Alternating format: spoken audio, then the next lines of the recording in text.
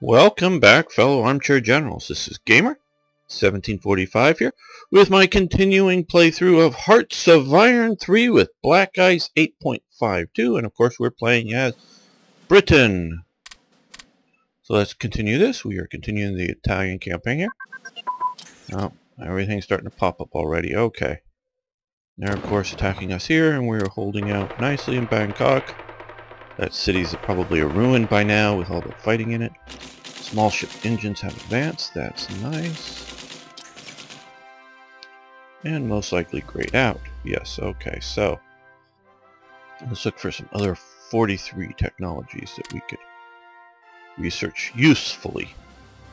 See, like some of this stuff, well, some of it may upgrade, but some of it won't upgrade current units, and I'm not building heavy ships at the moment. So that's sort of some of the things I'm looking at. Where it's not purely the year date or whatever.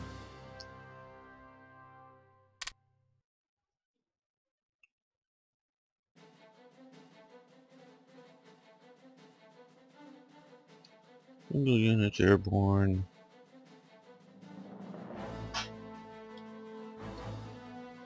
Not gonna do too much desert fighting, don't think too much. Commandos. No, definitely.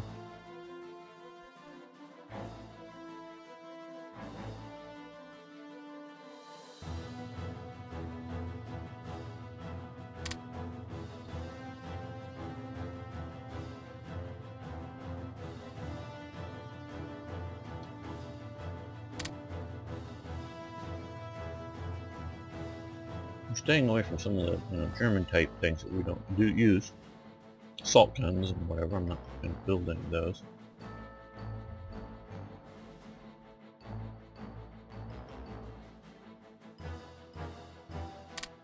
Cars may be tempting me.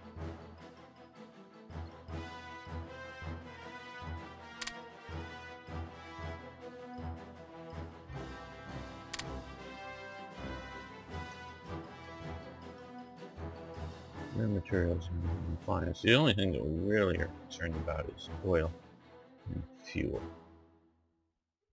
for these.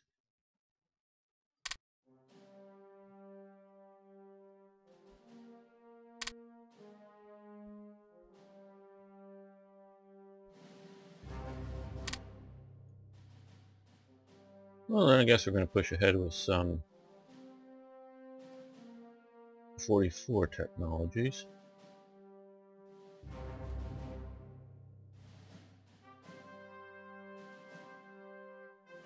Yeah, camouflage designs. Let's go with it.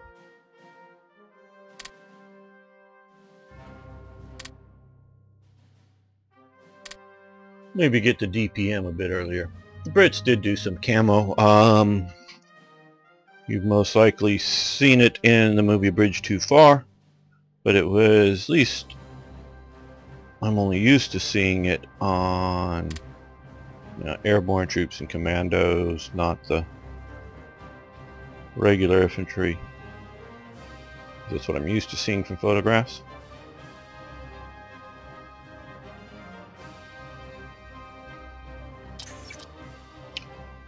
Like I said before, I really don't care what provinces we hold to a degree.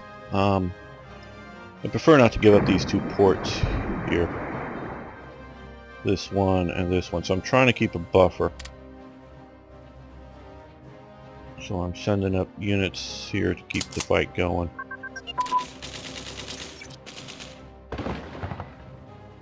Okay, medium fuel tank. Now that should open up now, more. Okay, well, since we're doing a lot of these guys, let's research there. And attack ground crew training events. That's very good. But and we can of course get that more up to date. But I would prefer to get the aircraft up to date. I, you know, I'm not that worried about, well, I don't know. We seem to be doing all right for air operations, and I don't know that morale, not that it's not helpful, it is, it's just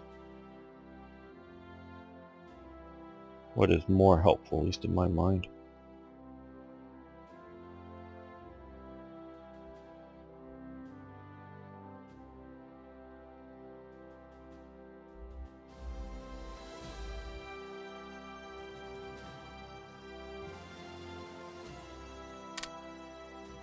Now, looking at the USA, I was doing that just before. Going, man, if they had, you know, I, you know, fortunately, the AI, combat AI, is still being worked on for Hearts of Iron 4. Steel Volt is doing a good job. They've also brought in, oh, one of the other heavy hitters they have over at Paradox to help them out on some of this stuff. And, uh-oh, we just had a, another division shatter.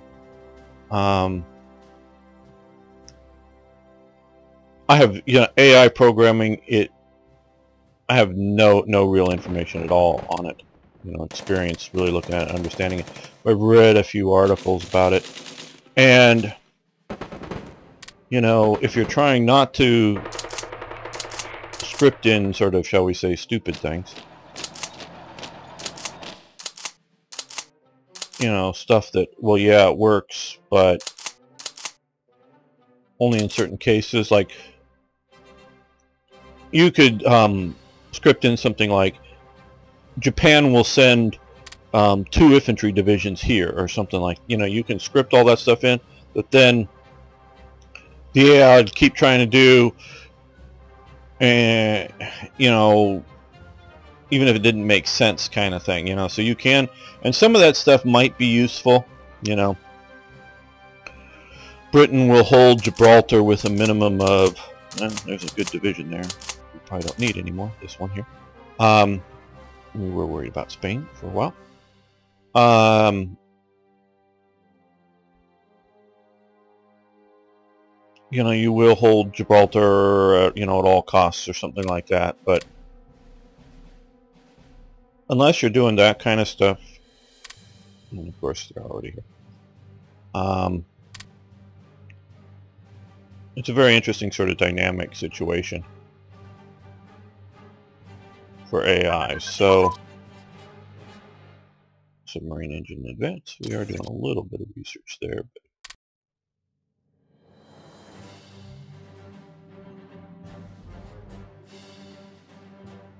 We're to switch that over to medium. There are prototypes here. Okay, um,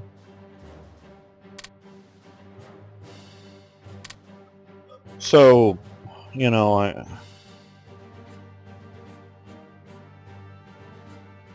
You know, what the talents are of a person. And also, um, in writing an AI, um, processing power. Because it's, you know, not... And another division shattered. We may have to give up those ports, but I really don't want to give up Rome.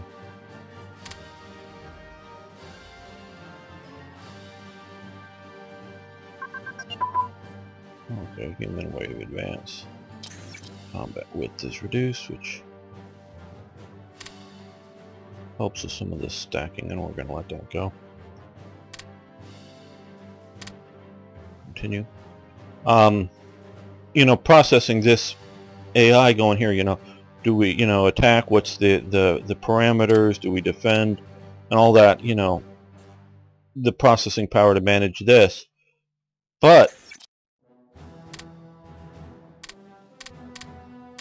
you're having to do it for this, you know. All these little decisions flowing that if you write too dense of an AI, yeah, they're just pushing me back here. I'm not liking it.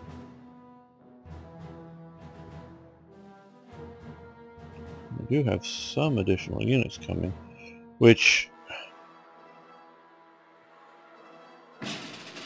I've been very concerned about that recently, the additional units. I don't want to reinforce failure.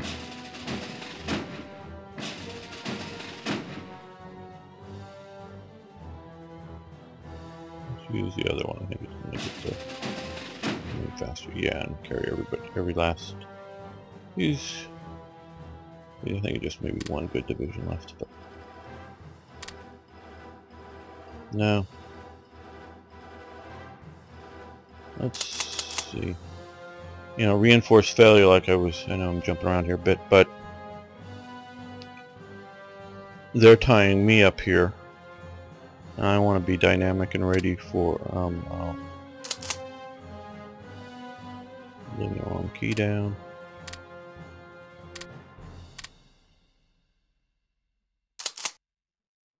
Ready for a D-Day invasion in which we can support things. I sort of kind of know it's coming, well, eight, nine months away. Not forever.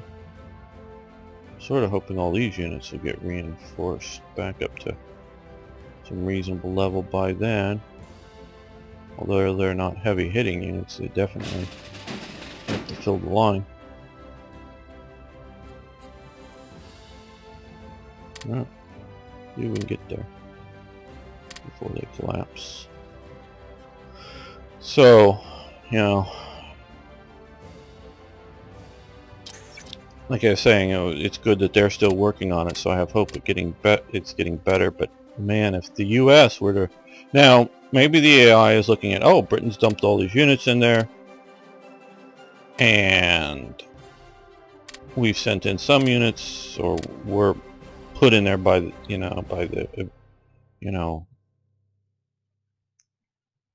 events and whatnot. And yes, I am watching to make sure none of these are getting overrun here. So I don't think any of them have been.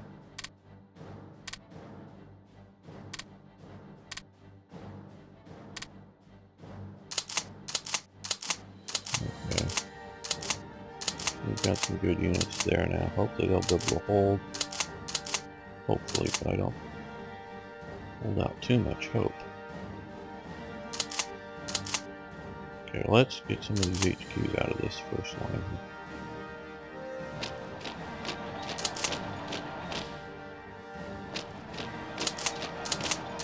As you know, I like to use HQs in combat when they have some combat strength, so I'm going to do a few there.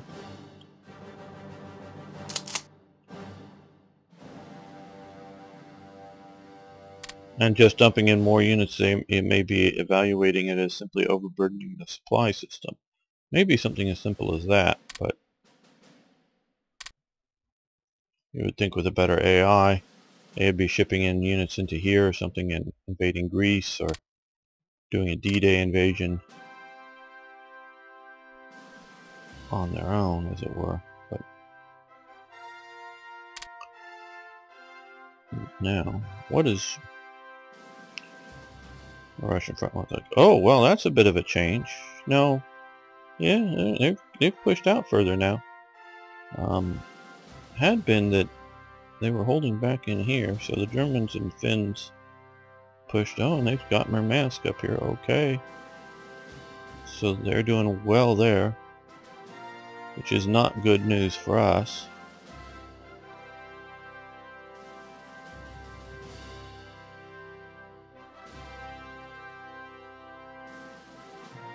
Yeah. That's not the best news for us.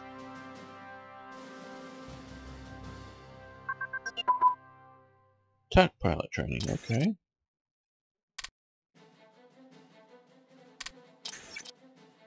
Yeah, organization is also very useful. I'm still a bit more onto the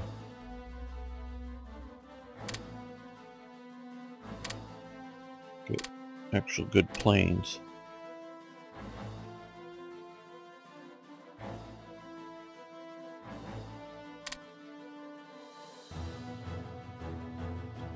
And, oh, these guys made it, and we're going to send them back.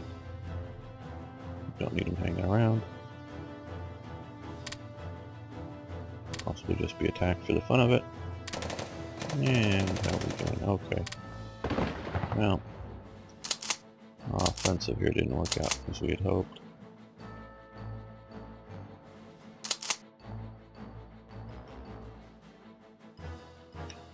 I was holding the ports because I'm hoping the US has supply lines coming straight into them.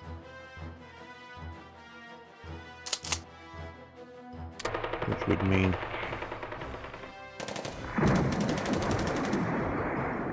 better supplies for the units, better upgrade or um, reinforcements. Or if they start pushing us down and we lose these two ports, supply may become an issue here, or more of an issue, or so far I've not seen any little red. The supply triangles recently at least.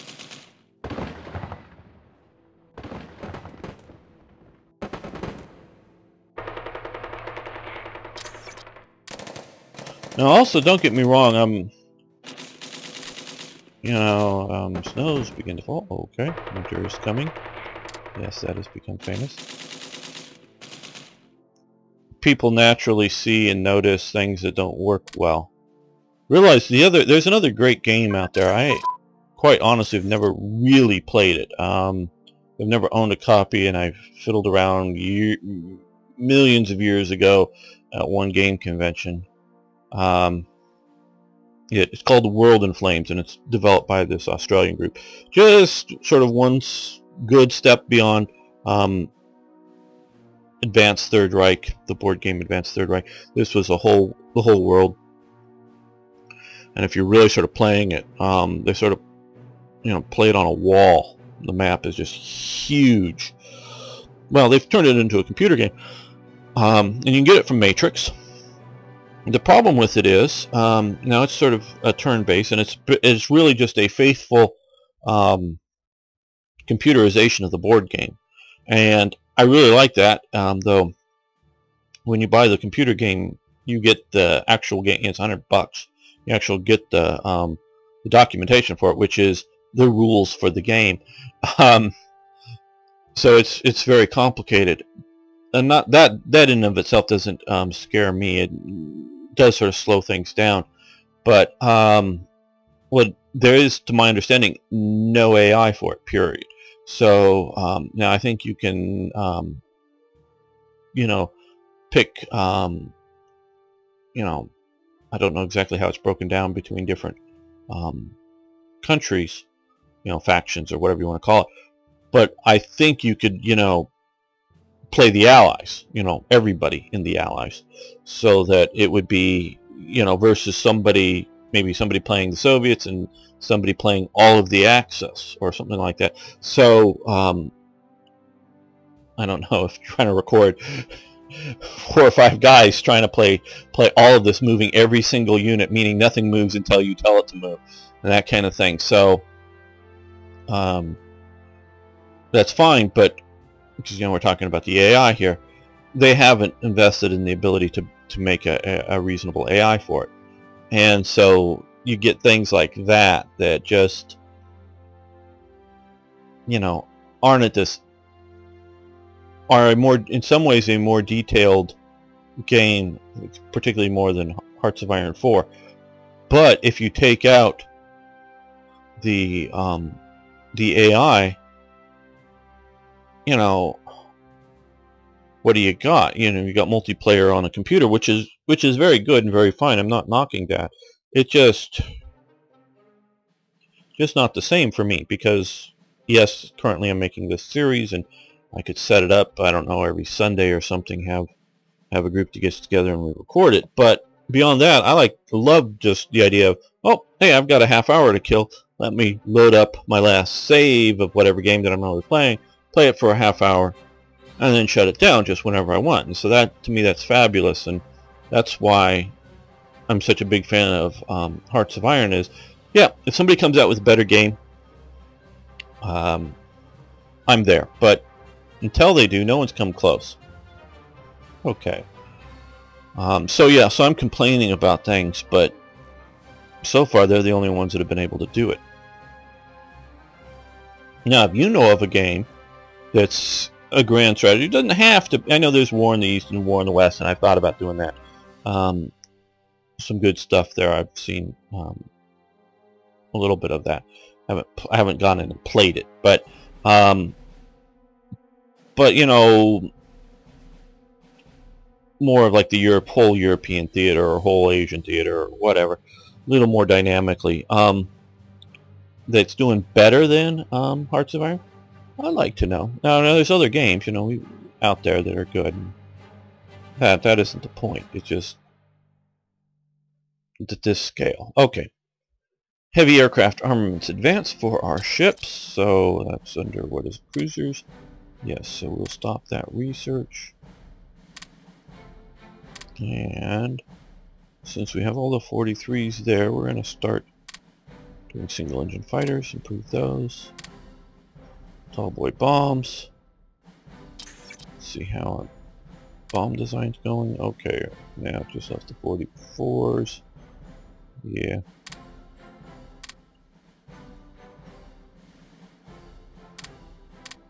And they've lost the Hornet. Okay. And agricultural industry. Money minus 500. We can well, barely afford that. And gain supplies, which is nice. Which we really don't need. 100 manpower. Which we really don't need. So I'm going to go not now. No, we don't need that. Yeah. We'll take those. We only have about a thousand, whatever. Don't know what that really represents, but pounds, dollar, thousand dollars obviously. That's supposed to be ten million dollars or ten billion dollars. I don't know.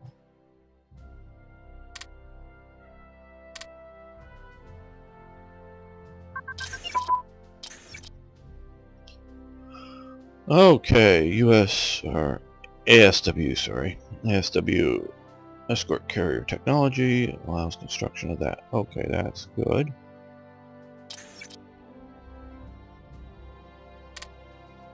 Um, yes, so I think that's done. Yeah, probably in the carriers, wouldn't it be? Yes, okay. Well, right now, because we are facing a bit of production or upgrade problems here, we're not producing anything, so I'm not going to... Well, I do want a bunch of those. Oh, that's hardly see, so it's popping to the top. Get that out away and done. And that allows me to Get all those fighters. Great. FUSAG. We have established the fictitious First U.S. Army Group, or FUSAG. We put General Patton, um, feared among the enemy, as the commander of this army of inflatable tanks and other vehicles. Ha. Hopefully the this disinformation helps further establish our diversionary attack as being real in the minds of the Germans. Excuse me, we can only hope. Okay, well, probably most of you know the, the general outlines of Patton's career in World War II and the controversy. Um, he said a few things to soldiers who um, probably, I would say, legitimately had battle trauma. Now, you sort of kind of have to understand. One, they didn't back then have, you know, they're still sort of shell-shocked, and that was obviously a World War One term, and obviously they studied it a lot, but they really didn't know a lot of it. And I think Patton and others would realize, yeah, there's a real thing called shell shock, and um, if you've gone through a horrendous situation, you're under that those thing, uh, that condition, and a lot of those people were, um, you know, catatonic, just sort of like totally, you know, non-responsive. Others were um, just constantly, literally like shaking in fear. You know, the the tremors, even when they were asleep. I mean, there's just, you know, but not everyone has those extreme of um, conditions, and not everyone gets the conditions under um, the most extreme. Now, so they didn't necessarily understand it like we do today. Plus, there's also another situation going on that we don't face today in our, at least modern American or modern Western wars, is, um, I don't know, the desperation of, of the situation. Um, and I don't want to in any way diminish um, the very brave work that a lot of soldiers do, and that there are many cases that a situation becomes desperate. Um,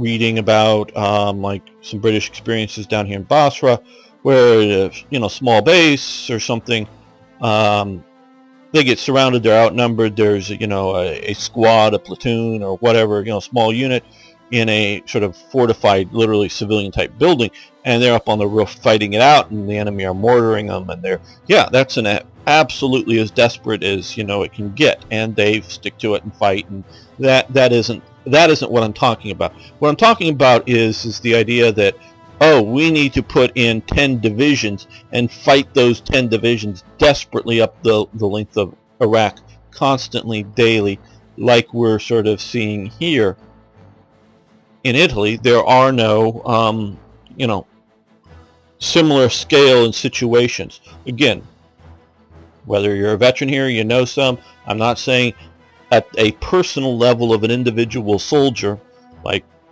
I was talking about, or you know, whether it's a squad, a platoon, you know, even a company or something that gets into a fight with an enemy that is a desperate and hard fight, and they go through that. I'm not saying that. I'm saying divisions, corps aren't um, dealing with that kind of thing.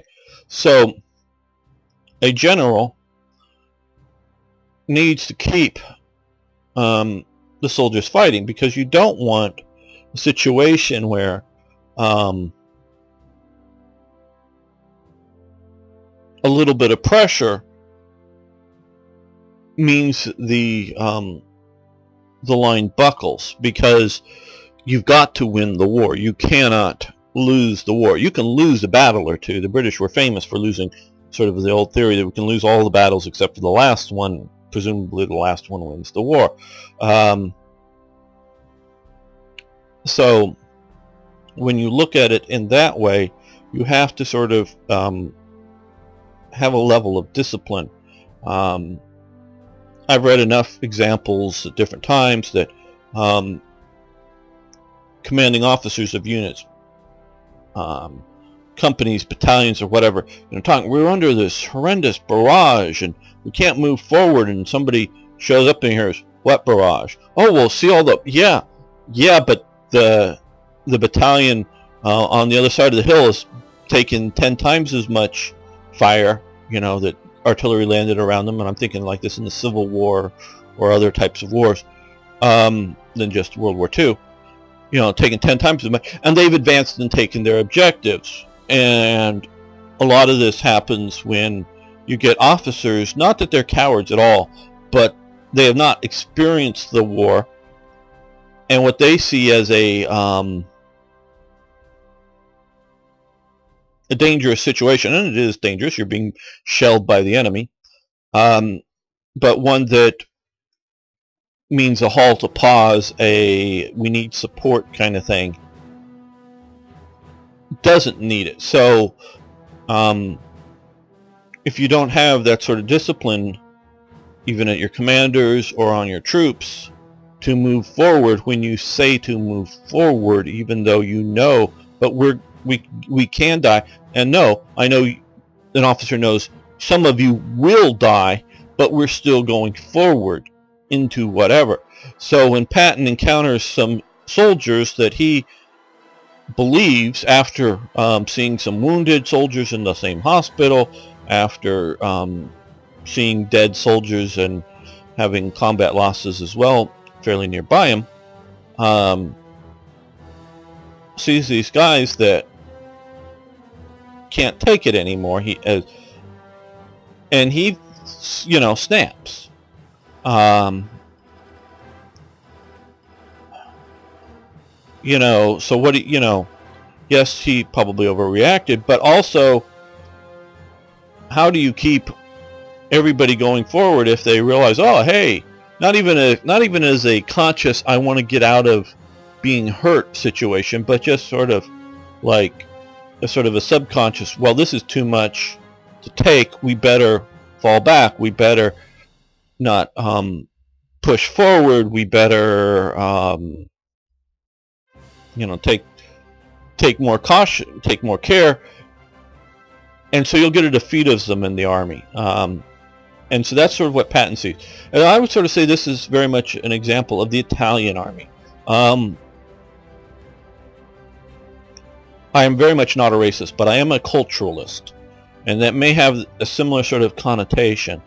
Um, not necessarily that I, you know, I don't, I don't know if I hate any cultures out there. Dislike elements of of cultures, um, but you know, of other cultures and maybe some elements of my own.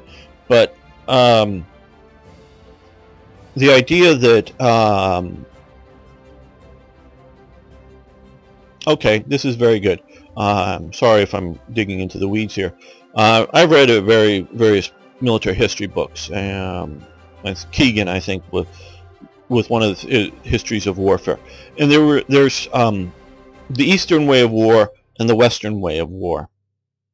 Um, and for the most part, you can't get an Eastern person to fight the Western way of war. They just refuse to do so. Now that has no, absolutely nothing to do with their race as a genetic thing, because you can get Eastern peoples, say grown up in America, and they're going to fight the Western way of war. And okay, um, the Western way of war basically is to overwhelm your enemy um, by direct assault, attack it straight at them, um, and break them. That is the Western way of war. Um, it is almost universal to to the Western peoples. Um, it is shown very heavily right along the, the borders of East and West. And um, typical of the Greek um, hoplite troops, the phalanx, which was actually longer spears, um, you know, into a, you know, uh, uh, you know, more than a spear. It, it was, a, um, you know, pike, a really long um, thing in which they used mass numbers. They used um, tightly coordinated um, marching drills and moved into the enemy. The Eastern way of war is to defeat your enemy's morale by picking at its edges. Um, whether it's cavalry riding around and dealing with the edge, edges of your formations, or hordes of archers, again, trying to envelop and deal with um, the edges of your enemy. And um, so you're constantly, now the Greeks did have slingers. They did, they definitely understood, you know, artillery of the, the sense of, you know, throwing things at your enemy. They never, they didn't do a lot of, a lot of bows. Some, but not a lot. Uh, not nearly to the level of in the East. And so um, they would sort of do this, the Eastern, and when they fought each other, would, you know, sort of do these this type of war. Keegan explains it much better than I'm doing, I know. Um, that at one point, by sort of, if you will, dancing around each other, even on a huge battlefield, at one point you will get the situation where the morale of the battles, particularly, I say most all cases, battles are won or lost at the morale level ultimately not you know if you kill enough of them the morale of the enemy breaks now it may also be at that point they are you know useless anyways that you've killed enough of them but normally in classical battles or other you know pre um, high explosives and guns um, is normally you killed enough of the enemy that then the morale breaks or you know, you've harassed them enough, you convince the enemy that, that they're going to lose enough, and then they break, and then you start the real killing. You know, once they turn and run, um, then you start chasing them down. That's when the um, sort of the Eastern way of war is then the sort of um, you know um, ground troops come in of the you know the the spear and shield types. Not that they never clashed without it. It's there's no truism. There's no you know 100% set formula. But if you look at this the standard operating procedures in the East, so that those kinds of troops would come in and really sort of only hit hard after they've been significantly weakened by the sort of sparring tactic where the West would come in, hit them hard, and um, do that. And so this continues throughout history in the Eastern and um, Western ways of war. You can see it in the Crusades. It's you know it's different tech in the Crusades. Sometimes it's a regression. Um, the um, the medievalists who were reading some of the um, and Renaissance era were reading some of the yeah more Renaissance era. We're reading some of the descriptions of some of the, the battles and um, wars that had now leaked back into the West out of the, after the collapse of Byzantium, and they couldn't imagine how you could use um, a big um, spear or a pike and a shield. They literally couldn't figure out how to do it. Um, and so they, they figured, know, I don't quite, you know, and a lot of them they didn't have um, good access to original um, uh, images and the written descriptions. They just so the famous sort of um, started out with the Swiss, the pike block, were pikemen with no shields because they saw these really long um, pikes and that you needed two hands, where the Greeks and sort of perfected by the Macedonians used basically equally as long pikes with a shield so that they're, you know, and that was into the Renaissance. So there was some regression in military technology with the collapse of the ancient world. But you still see um, this sort of Eastern way of war versus the Western way of war. And um, part of it is very much a mental condition. And the way I sort of wanted to illustrate this was is that at the end of the Napoleonic War, um, you know, the Ottoman Empire was shown to be weak with uh, various Napoleon and other um, French Anglo battles down in, in Egypt and other places. So there was a move in the West to help the Greeks free themselves from Ottoman rule and there were various various um, British adventurers and such that came and um, helped the Greeks fight fight out the war. And a lot of these people um, had read um, various uh, classical tales of Greek fighting. You know, um, in the old days, of course, it was the the Persians, not the Ottomans. But what they found just sort of shocked and horrified them, in a way. Um, is that the Greeks wouldn't fight. Oh, they'd get their guns and they would sit up in the hills and then they, when they got enough numbers together, they would go down and, and strike at some um, Ottoman group.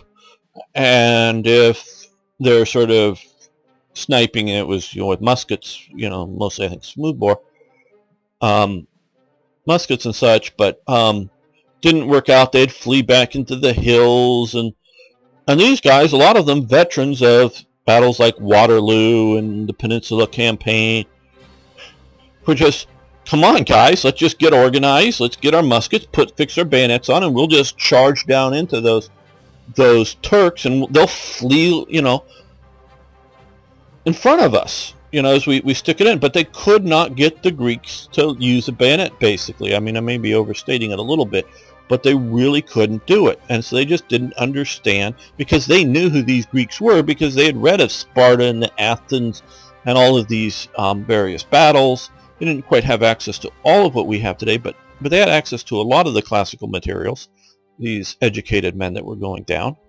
and then uh, the less educated but um, adventurous NCO types and whatever, they knew how to fight and win battles, but they couldn't get these Greeks to do this, and they just never did. And I don't, I don't know if the Greeks have ever. I'm sorry if there's any of you watching here, but I don't know if you've ever recovered your Western way of war. Um, you, they did fight very well against the Italians, but um, I think it was as much fighting in the Eastern style as it was anything else in the sort of lack of Italian leadership. And then we'll get back to that in a second. I know we're, we're running around through all this, but hope it's interesting. Is so that, that and so I still think they are um, mentally um, still focused on the Eastern way of war. And so essentially these are um, more or less the same peoples but they have been occupied so long by the Easterners that they've developed the Eastern mindset. There's one place that was never occupied by Easterners, and that's out here in Corfu. Um, I think that's, yeah, this is Corfu out here. Um, yeah, part of the land, small island. Because this was part of Byzantium, this island out here, that before uh, before Constantinople fell, um, it had been taken by the Venetians, and it was owned by the Venetians through the, um, you know, the Renaissance era and onward, and held by the Venetians until basically sort of the Napoleonic Wars happened, and um, first sort of the the British, uh, the the French, and then the British took it, and for a while it was sort of a semi-independent state under the British, while the rest of the mainland Greece was um, occupied still by the Ottoman Empire, and the British wouldn't abandon it to allow the Ottomans to take it, and that sort of was part of the elements that drove into the um, the British into freeing Greece. But so the Greeks had all been influenced by the Turks and their long occupation there. So this is what I look at as a cultural explanation. It's not race, it's culture. So, you have the situation with the Italian leadership. And so I don't know how much of the Italian poor showing in World War II. Some of it is material, okay? They had the Carcano rifle is acceptable, but just barely just as a rifle. Um, the Breda machine gun, that's their, I think I'm pronouncing it right. Um, used to look at all these in the books is sort of the the if you will the, the Italian version of a Bren gun or a BAR. Um, not in its mechanical operations, but it's in its role. Now, it's a bipoded machine gun, and it has a um, fixed 20 round magazine, meaning you the magazine there you can't physically remove it from the gun. So once you shoot your 20 rounds, you sort of there's a catch. It opens up and it swings out, and then you use four stripper clips to reload that mag that 20 round magazine and then you're back to firing. What a ridiculous concept. Now I can understand that magazines are a bit more expensive and you know just that they cost more to manufacture and more material than a stripper clip and you might go, eh, we're not going to fill magazines in a in a factory and send them out loaded to the to the front that's they're bulky it costs too much they're not a throwaway object okay i get that that they're not a throwaway object to some nations the M16 magazine almost sort of was in Vietnam, but not quite, but but getting there. Um, so that your magazine is not a throwaway object, and you don't, you know, have 200 magazines per gun. Okay, I get that. And if you're using the same caliber as your your infantrymen, you got lots and lots of stripper clips running around of ammo. Okay, I get that. So give them six, eight magazines to a gun, and your assistant can be reloading the magazines or one of the assistants to the gun reloading the magazines while you're using the other five or seven or whatever it is you know so that he's reloading those things while they're operation operating out there and not having to pause your machine gunnery to reload the magazine you know four stripper clips each time. That and like several other features on the gun um, was worked sort of nice at the range and a nice environment in Italy, did not work well in the desert. Um, needed to be oiled to function well, and this is more so the what is it, the Revelli machine gun. That's their tripoded heavier machine gun. That even more so um, needed to be um, oiled well to to function well. Well, in the field, even in southern Italy, but in the field, there's lots of dust and there's an incredible amount of dust down here. And a well-oiled gun is just going to attract that dust like all hell. And so you're going to get a machine gun that doesn't machine well that it constantly jams. So the Breda did the Revelli did. Uh, hope I'm getting pronunciations right. I know the guns just I don't know if I'm pronounce, pronouncing the, the names right. So they had some god-awful equipment the Italians did. They really did had some god-awful equipment so that's one factor. Two, I don't know how much the national character, somewhere between are they really the conquering heroes of ancient Rome that um, Mussolini thought that they were and should be, or had um, years and years, generations, shall we say, generations and generations of foreign occupation of Italy. Now, in Italy's case, it was occupied by uh, other um, European, so it wasn't a Eastern situation, but that the Italian mindset got to the point that the authorities weren't their authorities; they were a foreign authority that was, um, you know, not necessarily bad rulership, but it was they didn't have an investment as who who's going to be the Grand Duke locally or whatever. They really didn't care because it's either this guy or some other guy it's going to be the same for, for me being a farmer or whatever. It ain't going to change. So when you had the Austrians and some, some, you know, sometimes they were, the rulers were Habsburgs and sometimes they were Bourbons. And um, the Habsburgs sometimes ruled, that's why they sort of got there, um, in um, Spain. But then you had the Bourbons taking over. And so down here, the Kingdom of Two Sicilies, and then for a while there were two kingdoms of two Sicilies. Two kingdoms of two Sicilies. Um, so there were four Sicilies somehow. But by, with a Bourbon king, but it was sort of backed up by Spain. Spain direct controlled some areas.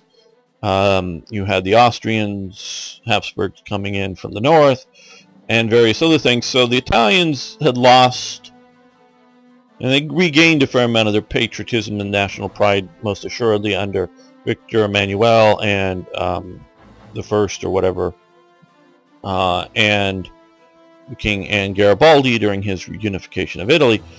But that was more just throwing out um, corrupt rulers, if you will, um, that weren't locally identified and creating a, a national identity. So I don't know if the Italian cultural mindset you know, definitely was no longer the Romans of classical Rome, however much Mussolini wanted to think of them as such. And so, yeah, they weren't that, that's for sure. They also weren't um, universally in love with fascism. I think they liked elements of it because you're going from a um, very, very agrarian society to a um, industrial society, and during that phase, and this is what you see in some various states and why you have some of the rise of communism and fascism, but you have great dislocation of people, and you can talk about, and I do believe that capitalism is the best possible. Uh, you know, we may have, I know I have some socialist viewers, but um, what is it Churchill said? Capitalism's sin is their bounties are unequally or unequally distributed. Socialism's sin is that its miseries are equally distributed. So um, capitalism is a bountiful system, but capitalism as now that's different than state capitalism or crony capitalism or whatever the, the current term for government-controlled run economies that allow private ownership and use. Different situation that, but true capitalism wants businesses and whole industries to fail. The whole design of it, it's not even design, it's sort of a, the free market concept, is that, yeah, General Motors is going to go out of business. Hooray! Because that going out of business means something else is happening that's going to replace it. Now, there's going to be great dislocation during it, Now, if you have a reasonably well-developed society, you may go from being a high-wage auto worker to being a low-wage uh, McDonald's worker to then two years later to be back being a high-waged, I don't know, computer manufacturer or whatever it might be, is that you flow through these various jobs and your the economy goes through it and it's much more bountiful and um, developing than anything on a socialism um, level ever will be, even with the disruptions. But people don't want to lose their well-paying jobs, and there's government interference, and so you get the problems. Well, that's once you get a relatively mature um, industrialized economy and that works reasonably well. What happens, or you go through a transition period that isn't artificial like Britain did or Germany did, in which you move through the stages as industry develops. You move from an agrarian to an uh, um, to an industrial economy. What happens is when you have instant industry showing up, and you have but primitive, un- unindustrialized farming, you have a massive amount of people that are farm laborers that all of a sudden you have various um, industrial changes, but you don't have um, the rapid corresponding availability of jobs moving from one to the other. So you do have situations where you have, to the point of, and especially in a society that doesn't have the ability to have, you know, you can talk about a, I'm not a libertarian, hardcore, pure capitalism with no um, state um, beneficent, uh, you know, um, safety net cushions. So, you know, unemployment insurance. You know, I'm, I'm for a certain level of that. Um, but when you don't have that in a society and you have this situation, you can have starvation. So people look for other solutions than, and I'm not saying that ever in the period pre-Mussolini that it was a capitalistic Italy. I think it was more of a state capitalism as opposed to free market capitalism. Maybe I should state that more clearly. I don't know that Italy, and I just don't know, Italy was ever really a free market capitalist situation, meaning somebody wanted to start a business, they just sort of started a business. I think it was more state governed, controlled. Um, I mean, there's always to some degree because you don't want, well, it happened in places, you know, in Britain, though it's, you know, a couple hundred years ago now almost, but um, where, you know, you just pour your poisonous garbage of whatever from your manufacturing process into the river in which people got their water. So you, you don't want that. You need, you need a certain level of regulations. Now, obviously, to some degree back then, they didn't understand all that, you know, in the late 18th, early 19th century, but just the, all the ramifications. So you need certain levels of stuff, but you want to set up a, a, lemonade stand? You got to get the government's permission? What? You know, eh, you know, it just it becomes over overburdensome.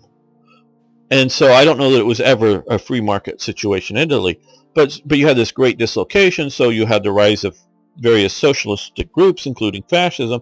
So yes, a lot of the people liked a lot of the elements of fascism. Doesn't mean that they necessarily liked Mussolini or were fascist, but they liked a lot of that elements to it. But I don't know that. Well, I know that Italy because there were also still a lot of royalist types that were in the army and there was still a lot of support for various other um, communism and other um, ideologies, even under Mussolini, um, though he banned them from any political office. There was not a um, a consensus support consensus support that Mussolini was the right guy for the job. And three, I don't know that Italy, a um, the Italian people, I should say, wanted to be conquering all these other nations they remember they did go through maybe not as big a horrors as some countries, but enough of the horrors of the First World War as well. And that they really cared about what Germany was doing, that they wanted to help their old enemy from the previous war as well as their ancient enemy. Remember, Hitler was an Austrian. People sort of know that. Hitler was an Austrian. Austrians were the primarily in the north, but the occupiers of Italy, so they, this is the old enemy that they're now fighting alongside that a lot of people wanted to fight alongside. So I think all three of those factors, well, culturally, Um, also, and then then the leadership factor, and we're getting back to where I was with Rommel. It took a while to get there. There used to be this series, you can, I'm sure, find it on whether Netflix or um, YouTube or whatever, called Connections. And this guy, I'm sure he's dead now, would talk about how things were connected through history. So we're getting there. He sort of circled back around to his starting point. So we're getting back to, to the starting point. The officer class in Italy was sort of just that, an officer class that didn't necessarily have a lot of contact with its um, NCOs. Um, I don't think they knew each other well. Um, you know, I think the the sergeants the sergeants knew the officers and the sergeants knew the men. I don't think that there was nearly the um, the interconnection that you find in some other armies, like the German army particularly. Trust me, the lieutenants and captains knew their their um, in the German army knew knew the privates in their um, platoons and companies. Now, battalion, um, brigade, and up, that's getting higher, but but the junior officers knew their people. Um, I don't think that there was good leadership in the Italian army at this time. Some of it may come back to the various factors that you know they the officers weren't necessarily fascist they didn't feel they needed to die for the Germans or whatever. There may be some of that, but I just don't think that they were very good leadership set up in, in the Italian army. So the Italian soldiers, um, and I could go into another Napoleonic um, thing between that, but I won't at this time. Um, so the Italian soldiers did not stick to the fighting well because of bad equipment, because I don't think they were generally the people in which you get the soldiers from were ideologically, for various reasons, wanting to conquer the Mediterranean and fight this war, and their leadership was poor. So they did very poor in the war. And this is getting back to Patton. This is where I think Patton was seeing he needed to show leadership. Yes, he probably snapped and overdid it. But I don't know that in that case whether he should or shouldn't have not quite did what he did, but giving him a stern talking to is, hey, you've got to get back up to that line. We're sending you back to your unit. You don't get to sit back here in this hospital. I don't blame him for that sentiment.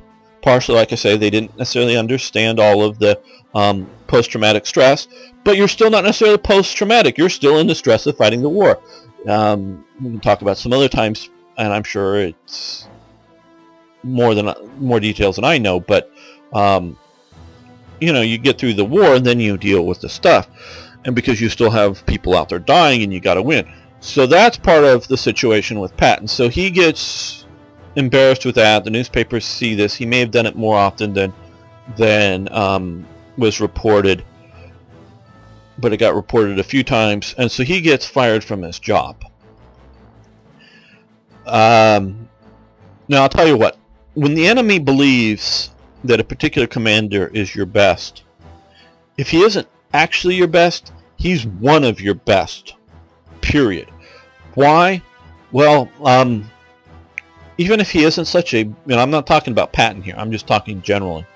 Um, even if he isn't such a brilliant officer, maybe he's assembled a brilliant um, staff, and then that staff points out good things, and he's brilliant enough to go, yeah, that's a good plan. Let's go for it.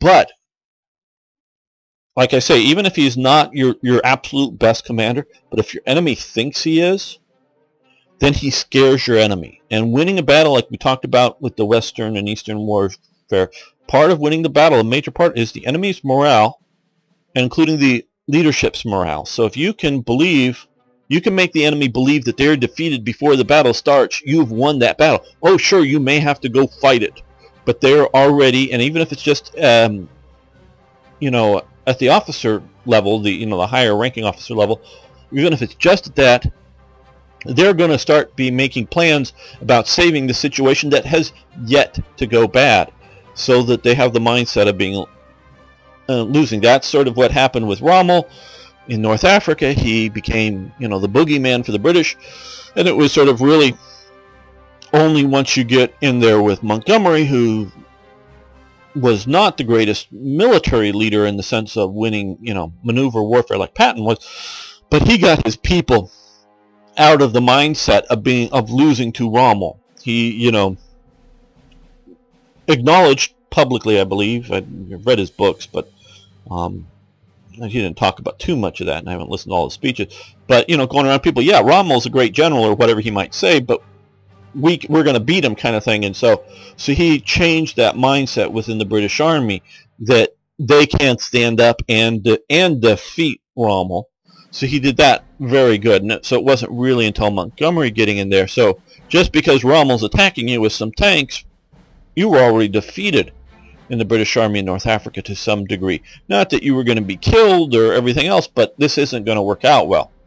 So Patton had that sort of viewpoint with the Germans. So he, if not absolutely the best, was one of the best generals for it. Now, when he gets sent back to England after this controversy, British Army, I mean the American Army weren't done with him, but it was a big, um, big problem that I think the Americans were over, the American public, the American leadership, whatever, was oversensitive to it. You know, you have a stern talking to, to Rommel, and then you, you put him back in there. Now, whether you, you need to take him out of the Italian command or not, that's a different matter. Um, I think he was probably better eventually out of it to fight in the north uh, northern France operation because his style of warfare of maneuver um, would be allowed much more outside of the Italian peninsula than in. So that in itself, but once he gets back there, he makes at least one speech or maybe several speeches in which he talks about um, the West and Britain, America, and some of the others defeating Germany, basically ignoring the Soviet Union, the Soviet ambassadors or whoever feel offended and complain, so that gives another sort of um, black mark against um, Rommel. And this was, I mean, sorry, Patton. You know, this was during some degree during this Fusag period because they were using running him around as sort of a publicity um, element to it um, to scare the Germans. And Patton may have not been the most diplomatic person on the um, one hand. On the other hand, he hated the Soviets, so he wasn't going to say good things about them naturally.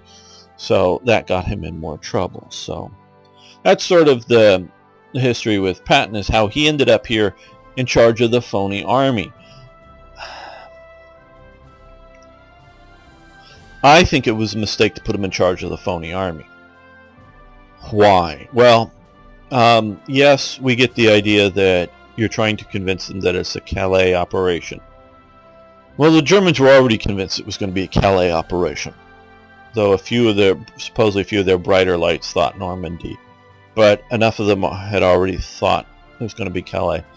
And I have a suspicion that had Patton been um, not necessarily, you know, D-Day commander in the, the first few divisions that were put ashore, but the sort of um, planned commander once you you got in here and got you know a few corps in there I think there would have been an earlier breakout. I don't think I think there wouldn't have been the chance for the Germans to catch their breath as well.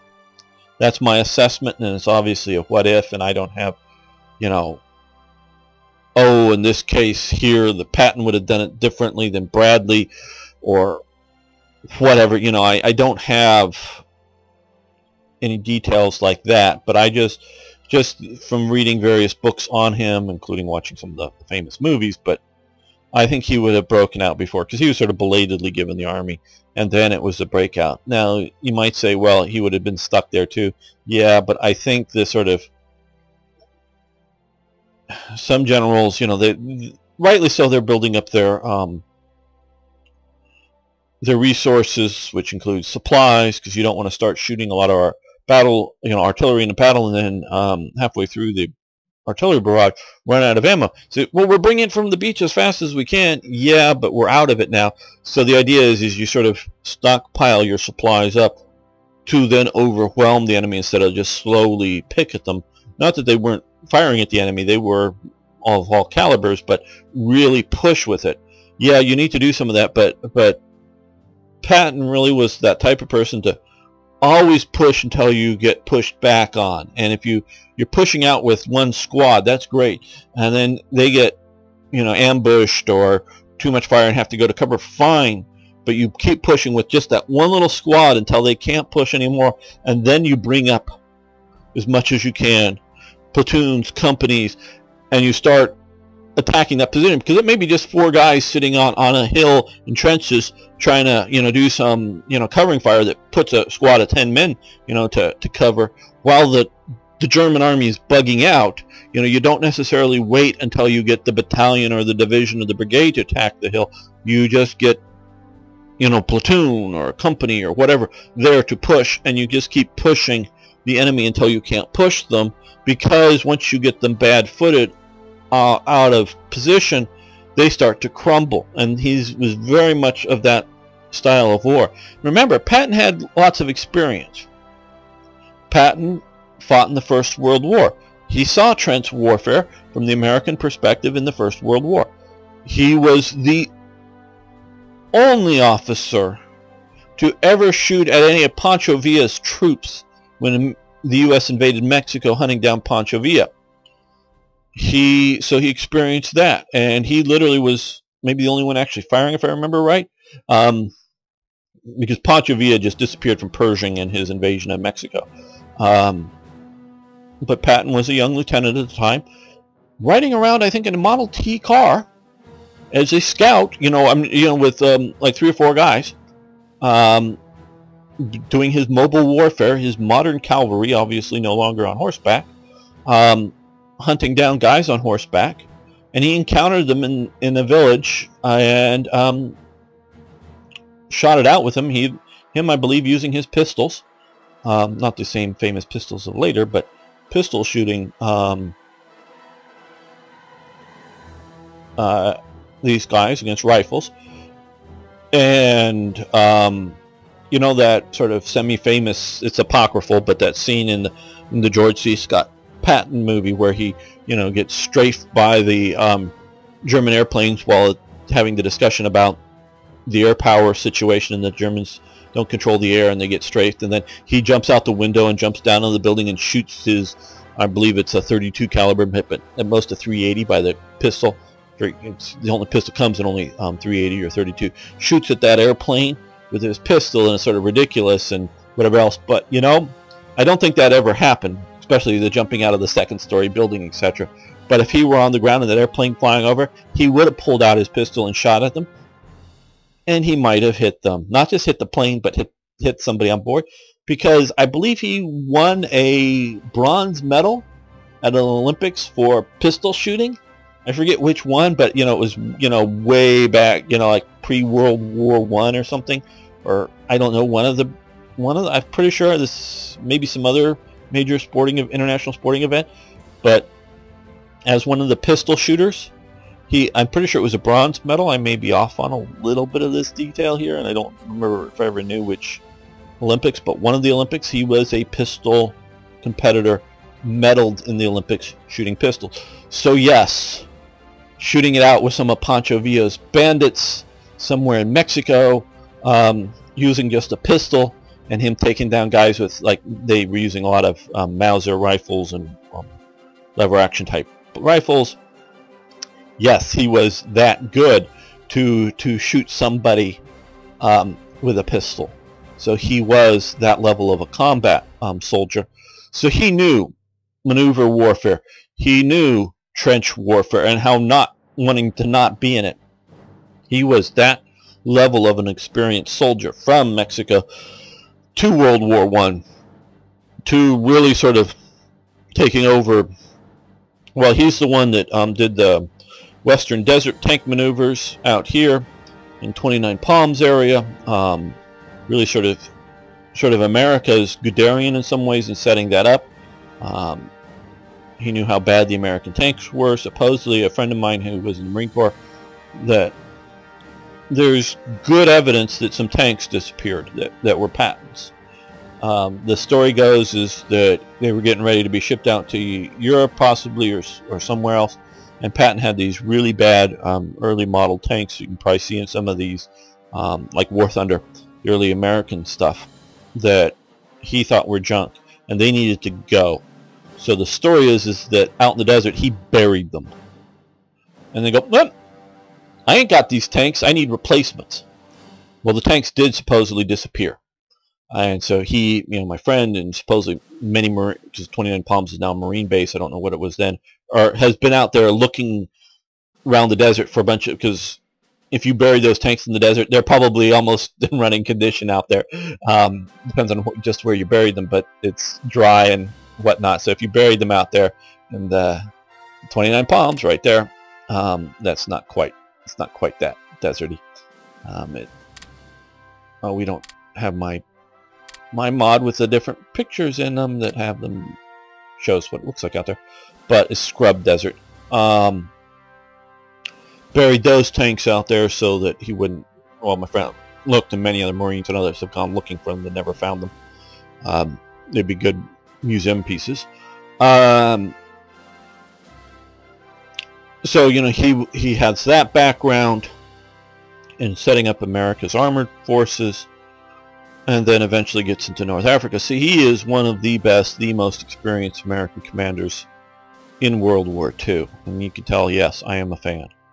But, um, you know, he had his flaws. I'm not going to say he didn't have his flaws. Like I say, I think he snapped on the one or two soldiers and overdid it. And even even within the understanding of the time, because we have you have to put people into their time and place.